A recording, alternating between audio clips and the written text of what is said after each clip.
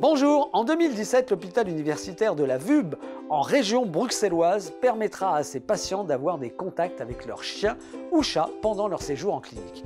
Le projet Villa Sanson devrait voir le jour en Belgique. Il repose sur l'idée que la présence d'un animal familier peut soutenir les soins ou la guérison d'un patient.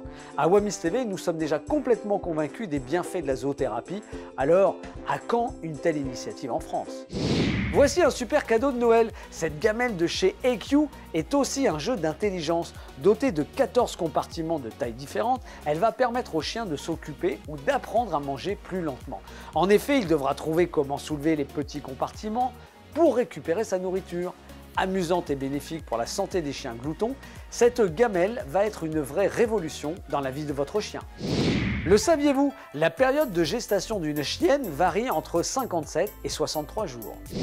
Dans l'agenda, on vous attend demain 18 septembre au Touquet pour l'exposition nationale organisée par le Club Saint-Hubert du Nord.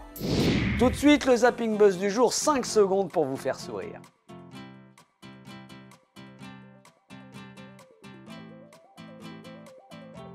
Partagez la Minute Chien sur vos réseaux sociaux et surtout abonnez-vous gratuitement à wamis.tv pour ne manquer aucune de nos nouvelles vidéos.